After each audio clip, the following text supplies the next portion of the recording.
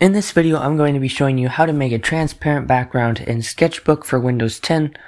I have made this video for Android, iOS, and Mac, so now I'm doing it for Windows 10. And to begin, we have Sketchbook opened, and I'm going to just doodle a little bit tech, particle logo. Kind of rough, but anyway. Go to the right hand side, there you'll see your layer editor you'll see the layer you just drew and you'll see background. All you have to do is press the eye and it makes it transparent. As you can see, it's a checkerboard. But there's one final step. Go to the main menu, which is in the top left corner.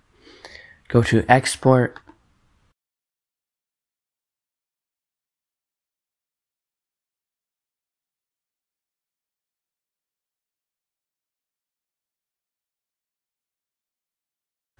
and change it from a JPEG file to PNG.